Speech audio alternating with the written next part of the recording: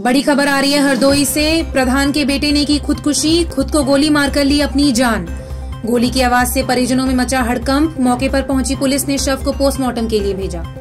आपको बता दें, प्रधान के बेटे ने की खुदकुशी, खुद को गोली मारकर ली अपनी जान।